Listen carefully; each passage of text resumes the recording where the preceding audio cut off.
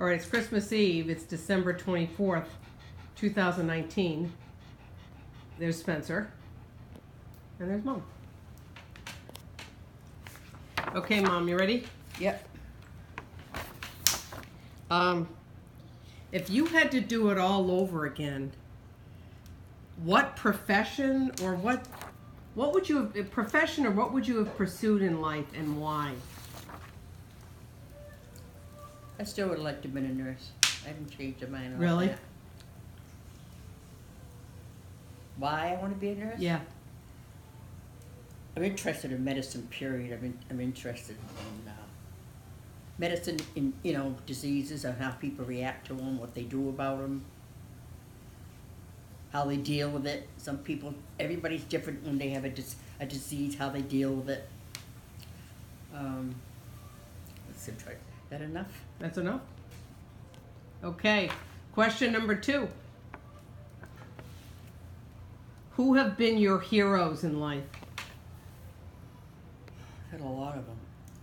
I really have.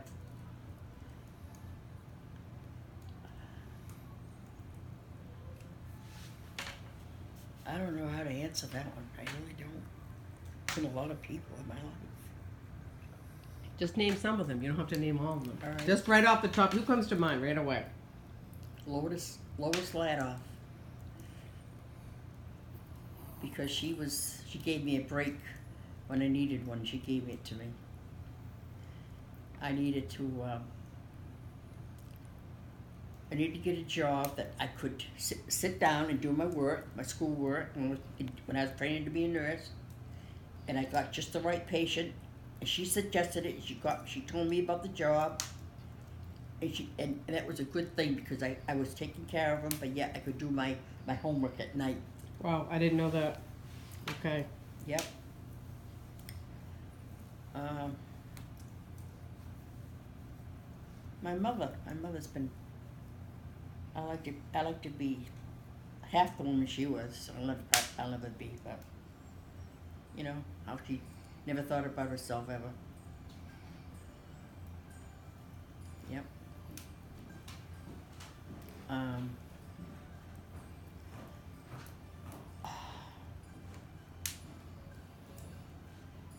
I had two mother-in-laws. Kind of. Jimmy's mother was quite a woman. Jimmy's mother, yeah. She's a nice woman. And Sarah? And Sarah, she, I was close to her. I used to look up to her for a lot of ways. She taught me a lot of little different things, and she kept me positive. She always had a positive answer for things. She was she wasn't negative. My mother could be negative, but she wasn't at all. Remember how Gravy could be negative about things? Yep. But Sarah wasn't at all.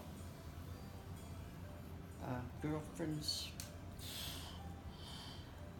I've had a couple of good friends. Debbie was a good friend of me, Jer- Debbie Journey. I don't know what's happened to her. We gotta find Debbie. All right. What do you admire most about your mother? I know we already talked about this tonight, but that is one of the questions. So go for it, Mom. Let me get you from this angle too a little bit.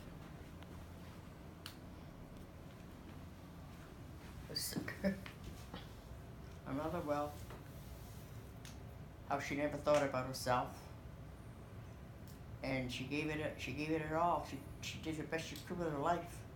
She didn't hold back on anything. She worked hard.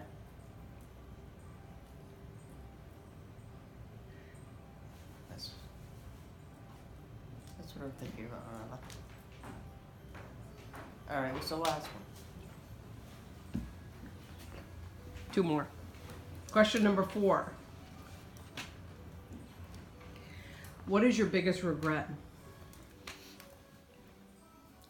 Marrying your father. Sorry. it was just a, it- the whole thing was not just your, well, nothing to do with your father-in-law. No, I hear you though. You were so young. Hmm? You were so young. Uh, yeah. I was too young.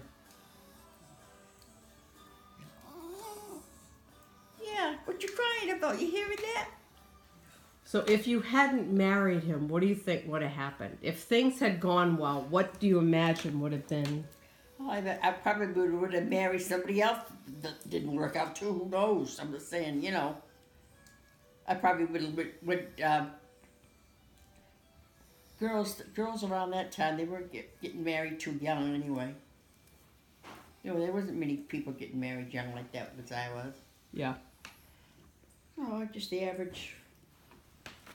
I didn't know nothing about life at that time anyway, you know. Okay.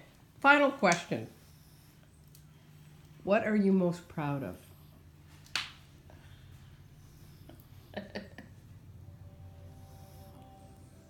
My children. Yeah.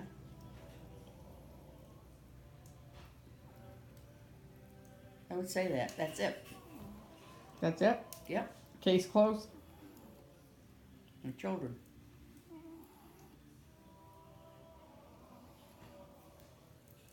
Yep. Every one of them. We love you, Mom. I love you too.